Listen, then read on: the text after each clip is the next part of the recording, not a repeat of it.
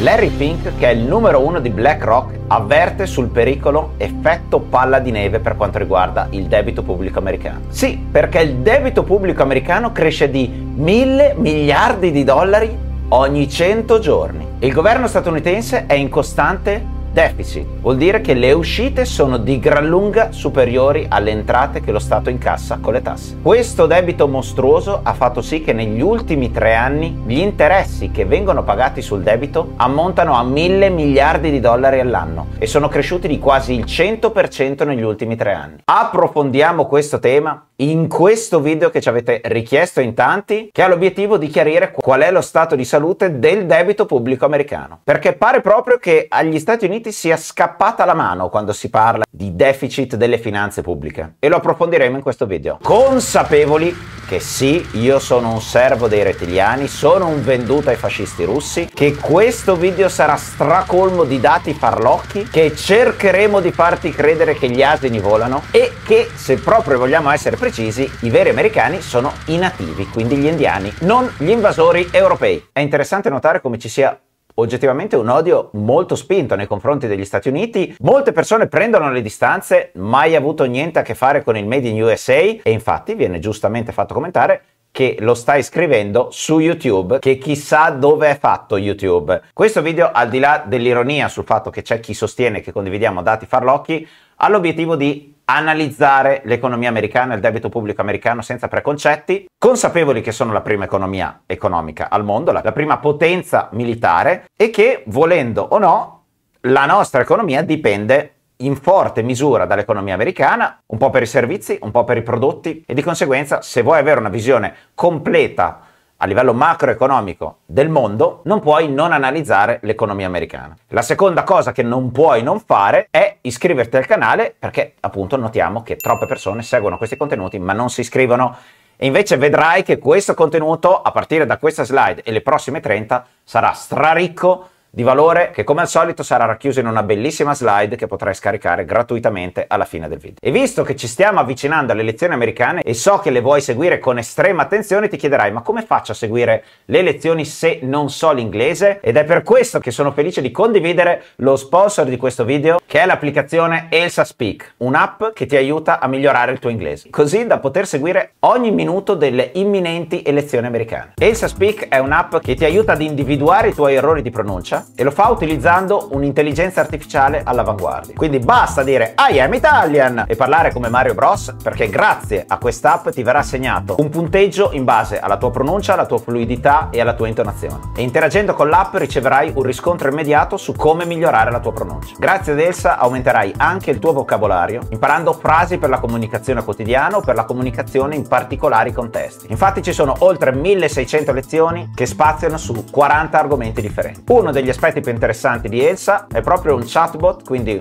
Immagina un robottino online spinto dall'intelligenza artificiale che puoi utilizzare per fare pratica in conversazioni reali e su qualunque situazione decidi di migliorare il tuo inglese. Quest'app è fantastica per avere un riscontro dettagliato su come ti sei comportato durante la conversazione e su cosa poter migliorare. Con l'abbonamento premium hai anche la possibilità di accedere a corsi di Oxford, a libri per poter migliorare ulteriormente il tuo inglese. Se ti interessa provare questa applicazione puoi cliccare il link che trovi in descrizione di questo video per scaricare gratuitamente Elsa e provare l'abbonamento premium gratis per 7 giorni. Se invece conosci già l'app e sei già cliente, puoi accedere a degli sconti che mi hanno reso disponibili solo per chi segue questo canale, cliccando sempre il link che trovi in descrizione di questo video. E finalmente potrai smetterla di parlare come Mario Bros. Hi, I'm Mario! Ti ricordi cosa è successo a giugno dell'anno scorso? Bene, ci sono state settimane di panico perché doveva essere approvato il famoso debt ceiling, quindi l'innalzamento al tetto del debito. In altre parole, negli Stati Uniti non si può superare un certo livello di indebitamento, quindi di debito pubblico che viene fatto dalla tesoreria del governo,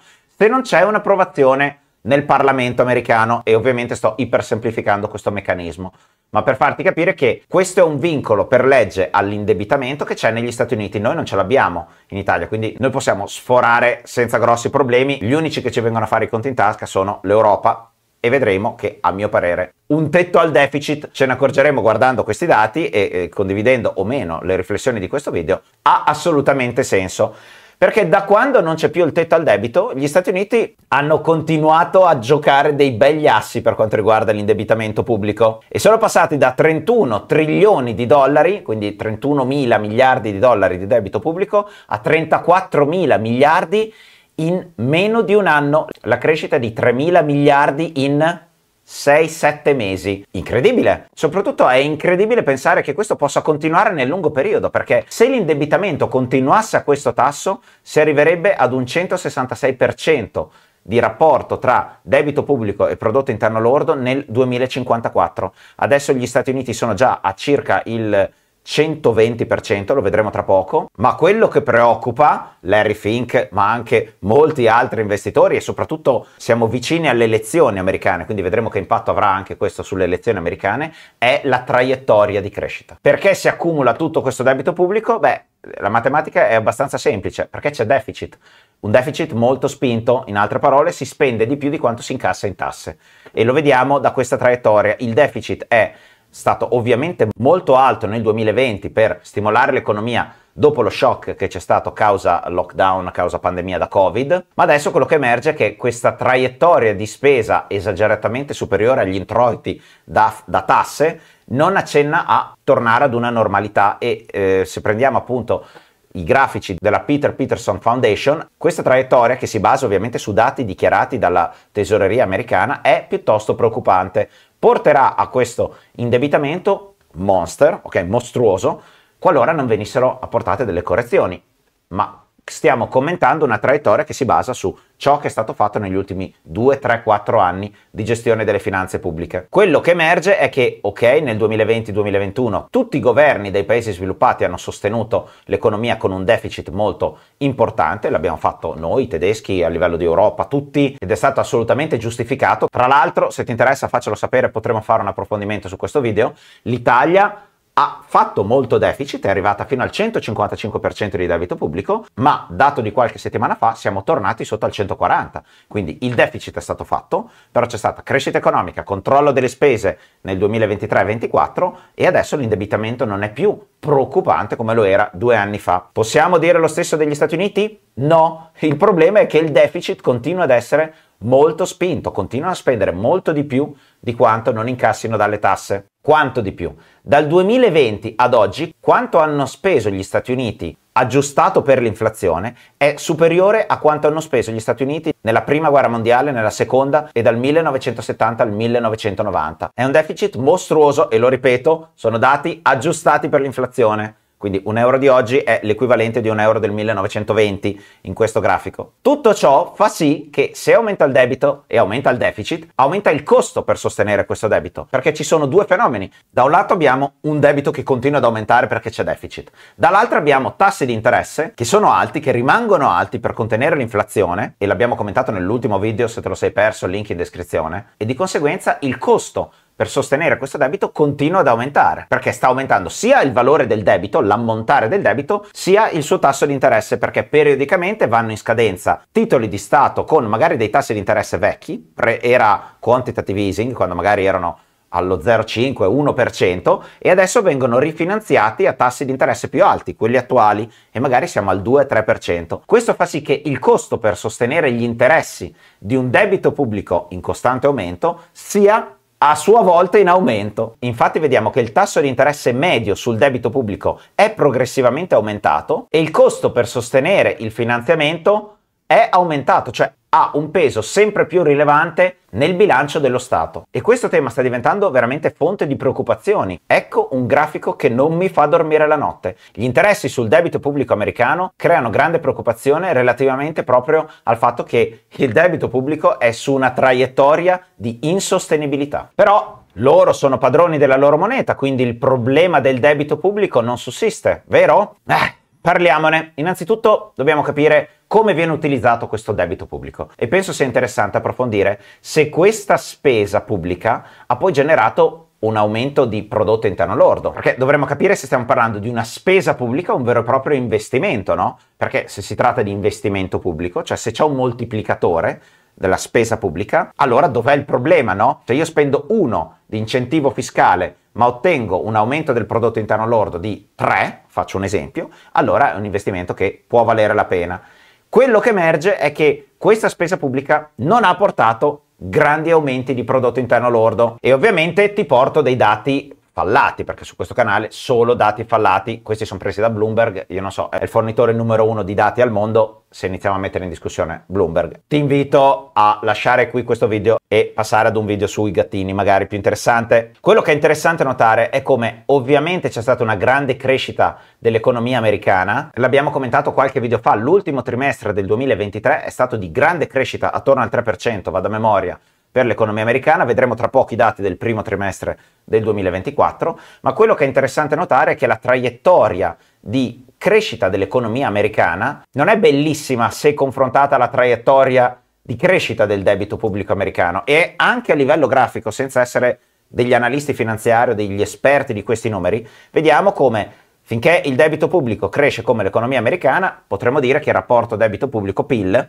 più o meno si mantiene costante. Ed è quello che è successo Mm, praticamente fino al 2018-19, più o meno sì. Cioè, gli Stati Uniti si muovevano tra l'80, 90, 100% di debito pubblico se rapportato al PIL. In realtà già da qualche anno prima, no? dal 2014 in poi, è che l'economia americana è stata sostenuta da un debito pubblico molto spinto. Cosa vuol dire è stata sostenuta da un debito pubblico molto spinto? Vuol dire che magari per tenere basse le tasse su persone o imprese, quindi stimolare l'economia, eh, hanno incassato meno tasse dai cittadini, dalle aziende, ma la spesa è rimasta uguale e quindi si è creato un deficit e quindi si è creato debito pubblico. Questo fenomeno è iniziato più o meno a partire dal, dalla, dalla fine della crisi precedente e quello che notiamo è questo, soprattutto nell'ultimo trimestre dell'anno, per ogni 2.5 dollari di debito pubblico è stato generato un dollaro di prodotto interno lordo.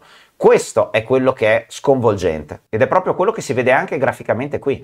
Il debito pubblico cresce molto di più di quanto non cresce l'economia americana e sull'ultimo trimestre dell'anno il dato è oggettivamente preoccupante. Perché? Perché il governo ottiene meno risultati in termini di crescita economica di quanto spenda a sostenere l'economia tramite una defiscalizzazione, cioè tramite poche imposte che gravano su aziende e cittadini. Questo fa sì che gli Stati Uniti siano in questo momento in una spirale preoccupante di crescita del debito pubblico, di economia che si cresce ma non ai tassi che ci si aspetterebbe per una, dose di stimoli così ingente e anche in una condizione in cui all'aumentare dei tassi di interesse sta aumentando il peso del servicing debt, cioè di quante risorse del budget vanno a pagare gli interessi e vediamo come praticamente siano quasi aumentati del 50%.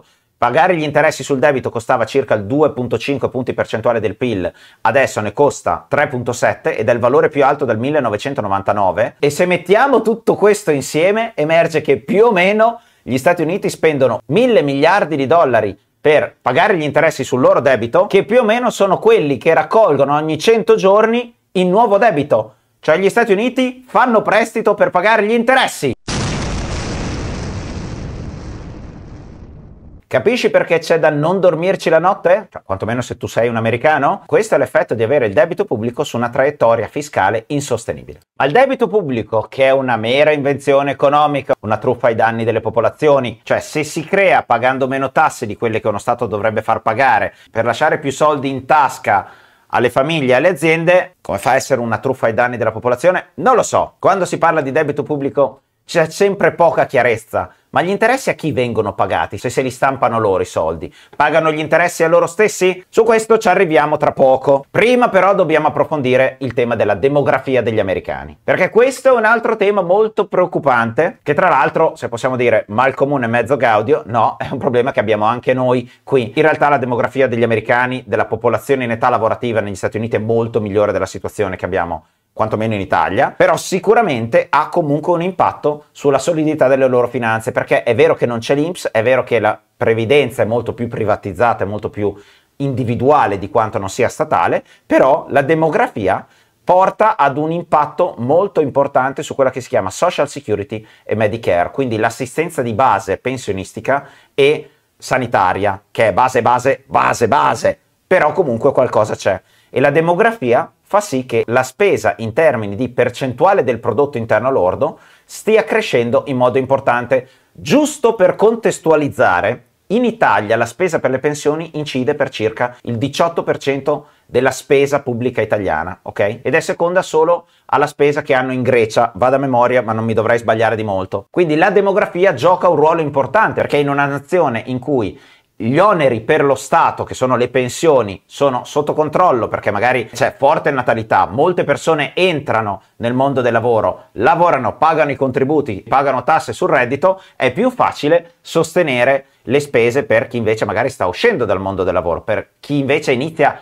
a usufruire di questi servizi. Quindi la natalità e la demografia giocano un ruolo importante. Gli Stati Uniti hanno una demografia espressa in termini di persone in età lavorativa molto migliore di quanto non abbiano ad esempio in Cina o abbiamo noi in Europa, perché comunque hanno un'immigrazione controllata, una natalità leggermente migliore della nostra, insomma se si guarda l'andamento della popolazione in età lavorativa, che quindi paga le tasse, è sicuramente migliore della nostra, ma comunque per le ragioni che abbiamo visto di invecchiamento della popolazione, i baby boomers ci sono anche negli Stati Uniti, sempre il nostro amico Larry Fink di BlackRock avverte che c'è una retirement crisis, quindi una crisi del pensionamento, quindi andranno a fare quota 100 anche negli Stati Uniti, te lo anticipo. E non c'è da meravigliarsi se le giovani generazioni o i millennials come il sottoscritto o la generazione Z sono in uno stato di ansia economica, proprio per queste ragioni demografiche, a tal punto che si inizia a parlare, siamo in periodo di elezioni per gli Stati Uniti, di aumentare l'età del pensionamento. Questi sono i repubblicani che stanno iniziando a proporre soluzioni per mettere una pezza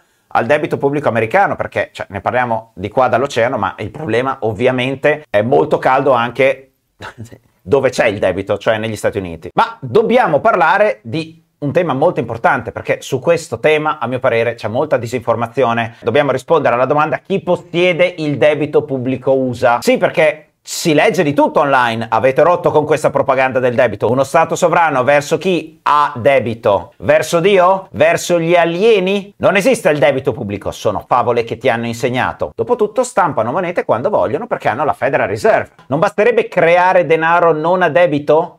No, non ce lo lasciano fare e noi non lo diciamo perché abbiamo ripercussioni sul canale. Non solo sponsorizzano il canale, ma non possiamo dirvi la verità, ve lo dico. Non possiamo dirvi la verità perché se lo dicessimo il nostro canale subirebbe gravi ripercussioni. Pazienza. A mio avviso, molti ragionamenti fatti sono noti e corretti, ma dovremmo specificare a chi vanno gli interessi del debito pubblico? Ottimo commento, perché esistono investitori interni e investitori esterni. È per questo che dobbiamo porci la domanda, ma chi possiede il debito USA? Ed ecco la risposta, che tra l'altro abbiamo già condiviso nello stesso video in cui c'erano quei commenti, quindi purtroppo la ripetizione è la madre di tutte le abilità. Due terzi del debito pubblico americano è posseduto da investitori domestici, quindi da americani o da istituzioni americane, circa 6 mila miliardi di dollari sono in pancia alla Federal Reserve, poi in pancia 2.600 miliardi a fondi comuni di investimento, governi federali, altre istituzioni, fondi pensione, eccetera. E poi, oltre agli investitori domestici, ci sono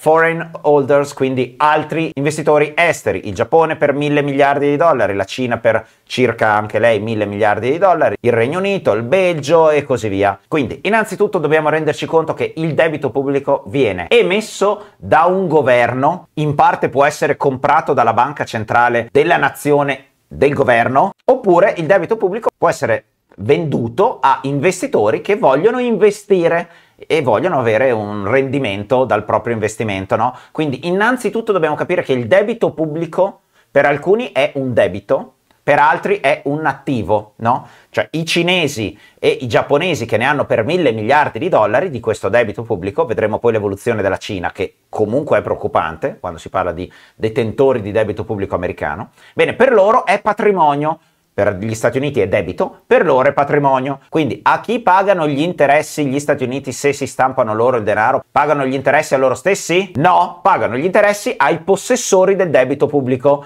In parte è anche la Federal Reserve, ma la Federal Reserve ne possiede per 6 mila miliardi su circa 34 mila miliardi. Quindi fai tu le proporzioni. Tutto il resto sono investitori privati, investitori pubblici, governi, magari anche aziende che hanno investito in titoli di Stato. Quindi il debito pubblico non è una baggianata, è debito per uno Stato e patrimonio per chi decide di finanziare quello Stato comprando i titoli di Stato e per lui diventa patrimonio. Ah, ma non si potrebbe andare in default sul debito? Eh sì, basta convincere i 2600 miliardi di proprietà di fondi comuni di investimento o dei 1000 miliardi di proprietà dei fondi pensione che tu Stato puoi andare in default.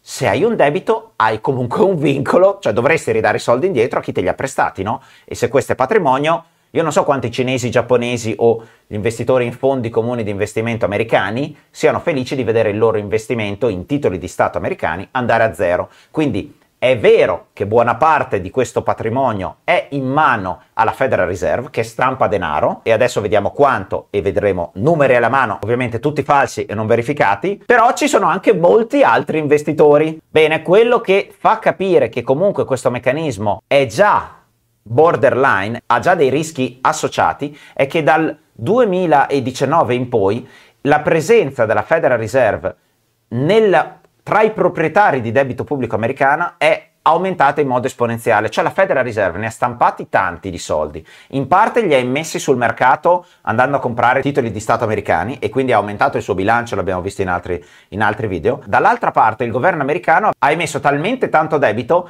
che la banca centrale americana non è che aveva abbastanza soldi per comprarli tutti, ne ha già comprati tanto da raddoppiare praticamente il suo peso tra i proprietari di debito pubblico americano. Quello che adesso vediamo essere 6 mila miliardi di dollari di partecipazione da parte della Fed al debito pubblico americano, nel 2019 era meno di 2.000 miliardi, quindi hanno triplicato la presenza di debito pubblico americano nel loro bilancio. Ma dal 2020 ad oggi il debito pubblico americano è aumentato più di 10.000 miliardi di dollari, quindi a spanne 4 o 5 se li è presi in pancia la Fed, gli altri sono stati immessi sul mercato e chi li ha comprati? I detentori di debito pubblico, un mix di queste istituzioni o di questi investitori. Più chiaro di così non so come come spiegarlo, quindi il debito pubblico è un problema anche per nazioni che battono moneta. Perché ti chiederai? Perché il peso degli investitori esteri sta aumentando in modo esponenziale. Perché?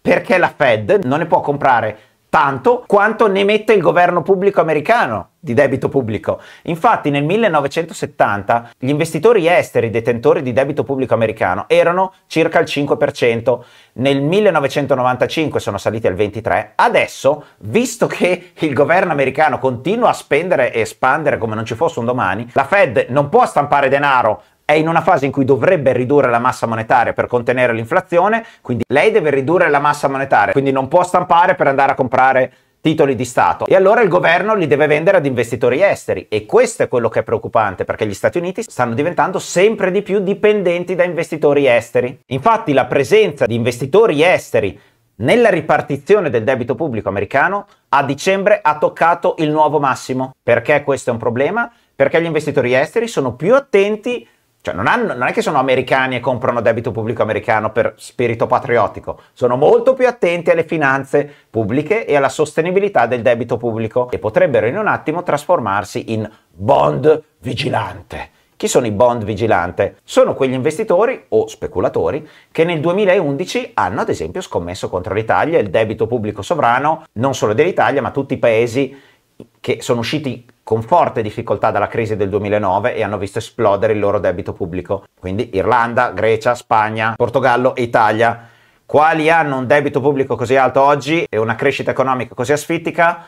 È solo l'Italia. I bond vigilante quindi sono investitori o trader che vanno a vendere grandi ammontari di titoli di Stato o obbligazioni come protesta o segnale di disapprovazione delle politiche dell'issuer, cioè di colui che emette il debito, ok? In questo caso il governo americano. Il debito pubblico per uno Stato sovrano non è un problema, è un dato statistico, è cancellabile con un tratto di penna. Non so se saranno d'accordo il crescente 30% di investitori esteri in debito pubblico americano di veder cancellato il loro investimento in debito pubblico con un tratto di penna più uno Stato si espone a investitori esteri, meno può fare giochetti di questo tipo, no? Ai miei cittadini cancello un po' del loro patrimonio, che di fatto è un effetto simile alla patrimoniale, che lo puoi fare con i tuoi cittadini. Vallo a fare con investitori esteri ed è un po' un problema. Appena si inizia a percepire questo rischio, arrivano i bond vigilante, cioè gente che inizia a speculare contro il debito pubblico, inizia a dire questo debito pubblico non è più sostenibile, lo spread sale,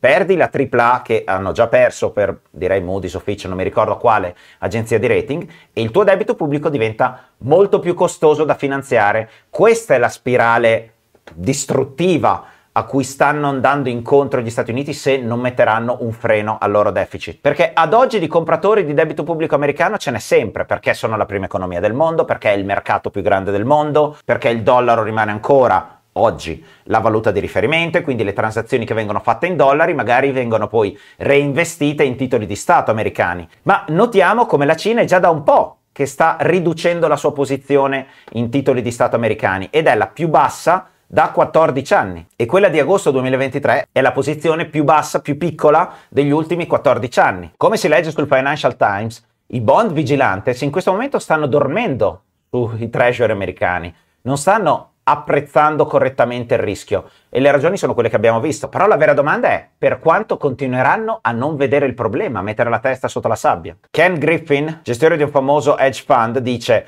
la spesa americana è fuori controllo e sfortunatamente quando il mercato dei titoli di Stato bond vigilantes, quindi chi inizia a guardare la sostenibilità del debito pubblico, inizierà a porsi delle domande sulla sostenibilità americana e dovrà arrivare alla disciplina fiscale, beh, questa sarà brutale. Oggi non ci sono problemi per i titoli di Stato americani perché la percezione del rischio è ancora contenuta e il governo non ha problemi a finanziarsi. Questa è la raccolta in trilioni di dollari di debito pubblico americano negli ultimi anni. Non ci sono problemi, lo spread è contenuto e anche i tassi di interesse sono contenuti perché ci sono sempre compratori. Ma la vera domanda è quanto durerà se non cambiano le premesse che abbiamo visto in questo video, se non cambia il deficit e se non cambia questa traiettoria di crescita costante dell'indebitamento e del costo del suo finanziamento. Ok, a questo punto viene da dire, bene, abbiamo parlato di debito pubblico che viene generato da un deficit che è fondamentalmente spendere di più di quanto incassi con le tasse, ma non potrebbero semplicemente aumentare le tasse agli Stati Uniti? Eh sì, ed è per questo che adesso approfondiremo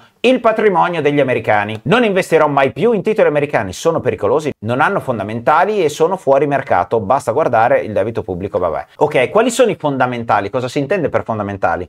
Tipicamente il patrimonio, ma il patrimonio di chi? Delle aziende o dei privati che puoi tassare per andare ad avere quelle entrate che ti permetteranno di tenere sotto controllo il debito. E quello che emerge è che gli americani sono incredibilmente ricchi e si sono incredibilmente arricchiti a spese del loro debito pubblico, ma dal 2020 in poi la crescita del loro patrimonio è stato a livello medio di nazione importante. Il patrimonio delle famiglie è aumentato di 5 trilioni di dollari, 5 mila miliardi di dollari solo nell'ultimo trimestre dell'anno ed è cresciuto di circa 40 trilioni di dollari dalla pandemia. Quindi le famiglie sono molto più patrimonializzate, eh, grazie, hanno tasse bassissime, lo Stato però si è indebitato e loro hanno patrimonializzato un aumento proprio netto di ricchezza. E infatti le famiglie americane hanno quattro volte più patrimonio che il debito pubblico americano. E quindi, giustamente, come dice Robert Borghese, le famiglie americane sono una massiccia risorsa che può permettere facilmente agli Stati Uniti, al governo degli Stati Uniti,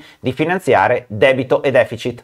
Ma questo vuol dire aumentare le tasse. Lo si fa adesso che siamo in fase preelettorale? Ma probabilmente no. Lo dovrà fare il prossimo governo? Alla luce di questi dati viene da dire non ci sono alternative. Se vuoi approfondire i dati degli americani sul perché, quanto si sono arricchiti a livello di famiglia media, ci sono molte altre slide nel PDF che puoi scaricare gratuitamente che ti permettono di avere il quadro completo. A questo si aggiunge che gli Stati Uniti hanno anche comunque 8.000 tonnellate di oro che potrebbe aiutare a sostenere il debito pubblico qualora ci fossero difficoltà e questo è patrimonio dello Stato. Quindi speriamo che gli USA schiattino, speriamo spariscono il più presto possibile, speriamo che esplodono gli SUA. Insomma, difficile essere così catastrofisti dal momento che il patrimonio c'è negli Stati Uniti, è nelle famiglie e nelle aziende e non lo è nelle finanze pubbliche che invece sono in grossa difficoltà.